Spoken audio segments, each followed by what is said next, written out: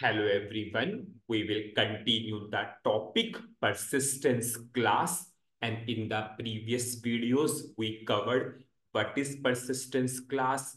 We created the persistence class to helper class automatically generated one with CA and another with CB. CA is called as actor class or agent class and CB is called as base class. If I will go to SE24 transaction code and I will go to actor class, this is our actor class which is generated.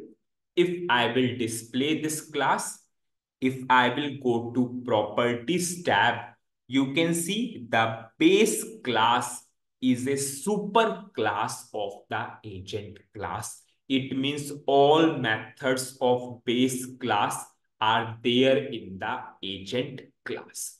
Now what we will do? Now I will create a program. In that program, we will go for insert, update and delete database operation. And now we will achieve those database operation with the help of persistence class in the ABAP programming playlist, we used the operation, we used the we use the various operations like insert, update, delete. These all commands we used. Now we will go for same to same database operations with the help of classes, with the help of persistence class. So I will create a program. I will go to SE38 transaction code and I will give some name to the program. Suppose I will write Z database operations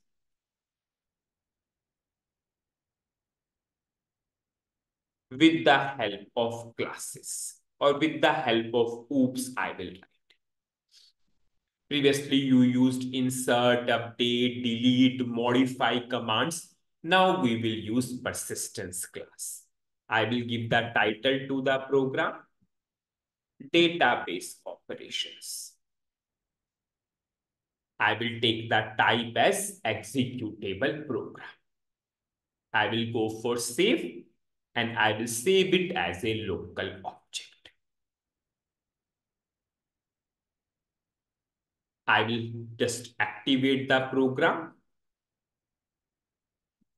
now we created the persistence class for our order header table. It means we will perform all database operation onto that order header table. So what I will do, I will go for SE11 transaction code. This is our order header table. Into this table, we will insert, delete, update, with the help of persistence class. So firstly, I will take the input into this particular program. And we will just go in a way that at a time we will go for insertion of one order number, deletion of one order number, updation of one order number. So whenever we will go for single single, we will always go for parameters. So I will take parameters. Suppose first parameter is for order number P underscore ONO, data element of order number. Type data element of order number. I will take second parameter P underscore O date. Type. I will pass the data element of order date. I will take third parameter P underscore PM. Type data element of payment mode. I will go for fourth parameter P underscore total amount. Type data element of total amount. I will take fifth parameter P underscore currency. Type data element of currency. I will activate this program up to this level and I will go for selection text. I will go for go to text elements, selection text. I will choose DDIC reference so that it will take the descriptions from the data elements. I'm activating. So these all descriptions are from the data elements itself. And out of all these, I will take order number as mandatory. You all know whenever you want to make some parameter or select option mandatory, you are using obligatory. Because if we will insert order number is compulsory, if we will update order number is compulsory, if we will delete order number is compulsory. So I make it as obligatory. I will run this program. And you can see we have five parameters and order number is obligatory.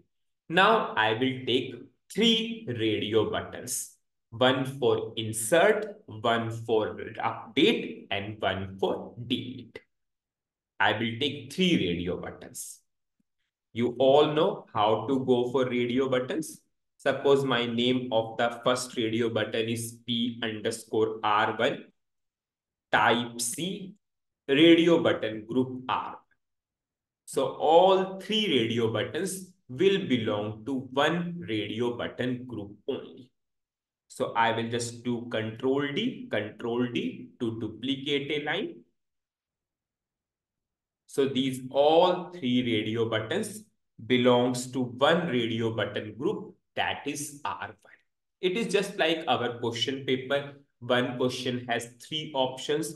So all these three options are for one question. Same thing this group, one group has these three questions. And we all know at a time only one radio button is ticked. So we have three radio buttons. I will pass the selection text to these radio buttons. Go to text elements. I'll go for selection text. Suppose first radio button, insert second radio button update, and third radio button delete.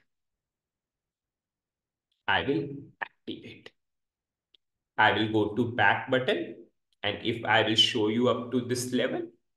So we have five parameters, total eight parameters. Five are input fields and three are radio buttons. By default, first radio button is ticked if you want to go for other radio buttons, you can pass. Suppose if I want to go for last radio button as by default ticked, or if I want to go for second radio button as by default ticked. Suppose if I will go for second. So I have to simply, simply put default. I will simply go default X. X means true and you will be able to see second radio button as ticked. Second radio button as ticked. Similarly, if you want to go for third as by default ticked, you can pass the default value as X. So our input is ready.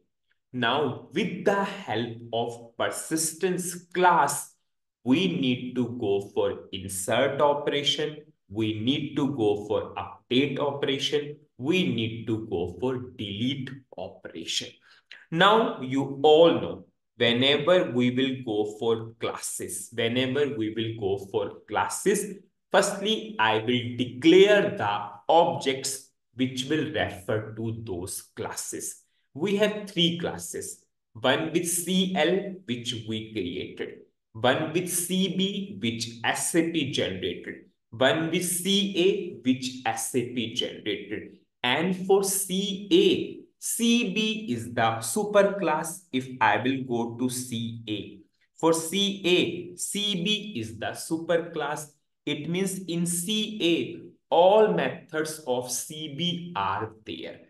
For that database operation, which we are going for insert, update, and delete, everything is in CA class. So I will take two objects, one for CL, one for CA.